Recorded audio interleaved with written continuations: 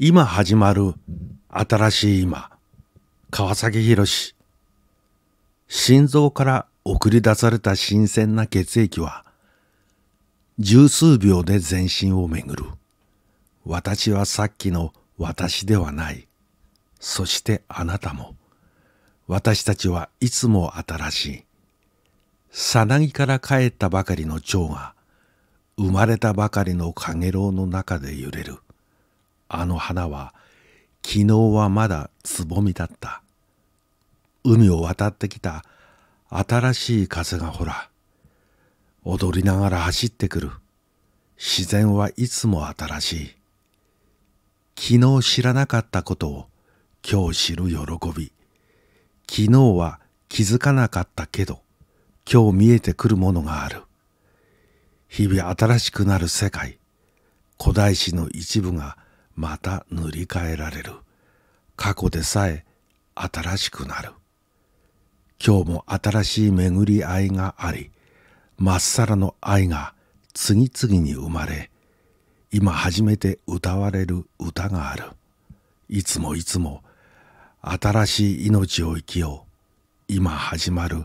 新しい今。いかがでしょうか？えー、今日は川崎宏の今始まる新しい今という詩をご紹介しました。おそらくはですね私の美しい詩というブログでご紹介した詩の中で最も前向きな詩ではないでしょうか。前向きという言葉はうんなんかえー、ちょっと大雑把な感じがするかもしれませんけれどもまさに前向きとしか言いようがないですね。うんこう視点を変えるとか躊躇するとか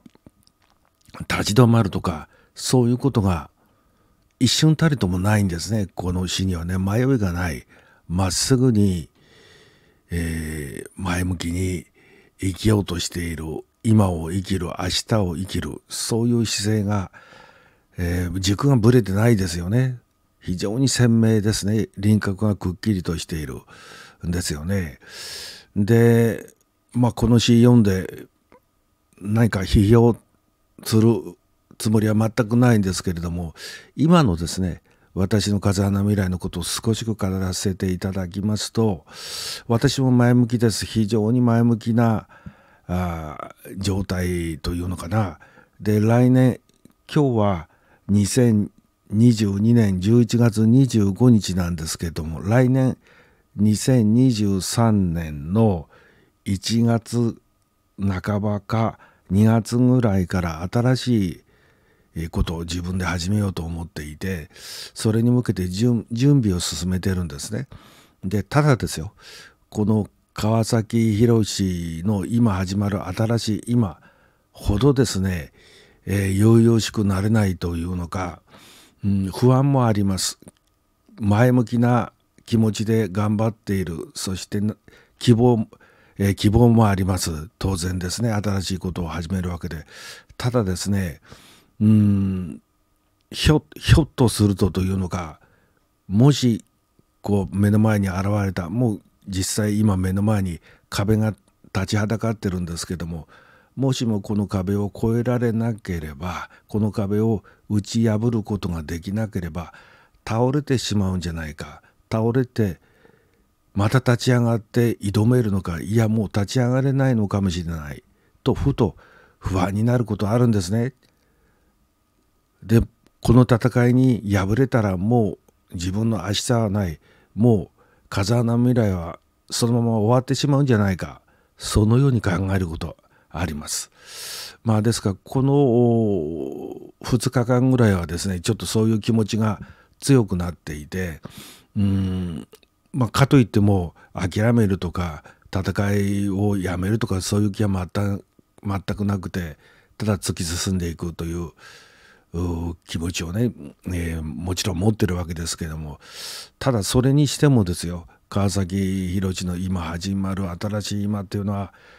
前向きですねよくぞここまで、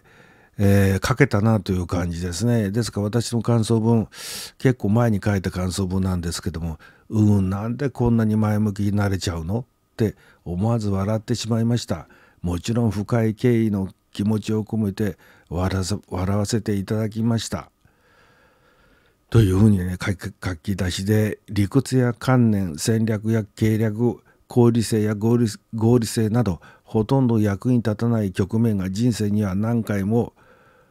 訪れます無節無節操とも呼んでいい生命力だけが尊いと感じる真っ青な空の輝き燃え出した若葉の匂いがただただ嬉しいそういう気持ちになった時が私にもあるのです。絶望の底に突き落とされた状況予想もできない不幸が次々にやってきて止まらない。最大の窮地死とすれすれのせいそうした時に私を救ってくれたのは無邪気な人の笑顔であり路傍に咲く可憐な花であり大きな樹木の上を涼しげな外れの音を立てて渡っていく風でした。私を救ってくれた者には理屈や理論はなかったのです。作為が全くない生命エネルギーの発露と言ったら硬すぎる。あるがままの自然な命の営みが私を元気に私に元気を与えてくれたのでした。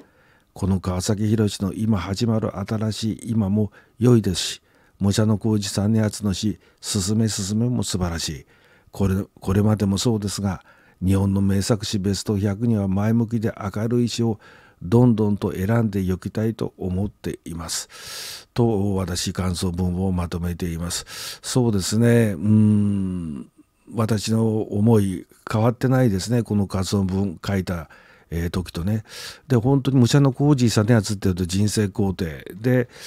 何、えー、て言うのかなその本当に素直な人生肯定と言ってしまうとあそういうのは無邪気すぎる。浅いんじゃないか。もっと人生っていうのは深いし、えー、そういうこう気休め的なね明るさよりももっと、えー、絶望しなければ本物の希望はつかめないんじゃないか。みたいなね。そういう考えがあることを私も知っていてそれも私の中で認めてはいるんです。ただ何て言うのかなそういう理屈とか観念とかこうそういうものが入らないというのかな。そんなもの必要じゃない。ただただ無邪気とも言えるうん人生は素晴らしいとかね。そういうような要素が人類、えー、今まで、えー、人類が生み生み出した最も深遠なそして崇高な文学小説を生み出したゾストイスキーですね彼なんかものすごく、えー、まあ、常人普通の一般人では考えられないぐらい深い施策、えー思えー、考え考え抜いた人ですよね。でも彼の、うん、小説を読んでいくと本当に無邪気な人生肯定的な言葉を登場人物が発する時があるんですね。なんかそういう要素またそういうものがあるからこそドストエフスキーは生き抜けたし、えー、とてつもないですね、まあ、五大長編小説有名な五大長編小説がありますね。カラマゾフの兄弟でが最後の作品になるわけですけれどもそういうものを生み出し生み出すことができたんじゃないか。ですからこういうまあ一色単にしては失礼ですけど武者の工事実内の人生工程川崎、えー、宏のこの今始まる新しい今もそうですね一言で言ってしまえば人生工程なわけですよね、えー、生命参加というのかな。ものすごく大事だと思います。それをなくしてしまったらやはり新しいね挑戦というものはできないですね。もうなんか結果だとかうんなんでこう論理性だとかそういうものを求めたら新しいことなんかできないですよね。リスクだらけで、うん、ずっと今まで、えー、私もインターネットの世界入っても15年以上になるのかな。2005, 2005年ですから、えー、本格的に始めたのが。もうねずっと積み上げてきたものの延長線をいけばいいのにもちろん延長戦でもあるわけだけどもっと地平をです地平というか地面をバーンと蹴ってですね跳躍したいっていう気持ちが出てくるんですよね。当然高く舞い上がれば着地には危険が生ずるわけですね足首をくじく膝を骨折するかもしれないわけですよね。まあでもそういうことをやってみたいという気持ちがまだ自分の中にあることは確かですね。ただ正直言いますと本当に 不安です。えー、ちょっと今笑いがね自分で無意識に出てしまったんですが本当不安で怖いんですね。うん、もう本当に失敗するんじゃないかその目の前の壁を破れなかったらもうそのまま、うん、倒れてしまうんじゃないかと本当思いますよこの数 日間そんなことを考えていました。でまあこの川崎宏の今始まる新しい今でね励まされたわけですけどね改めて元気をもらった、え、火山の未来でした。はいということで今回はですね川崎宏の今始まる新しい今という詩をご紹介しました。最後までご視聴いただきありがとうございました。よろしければこのチャンネルの登録もお願いいたします。それではまたお会いしましょう。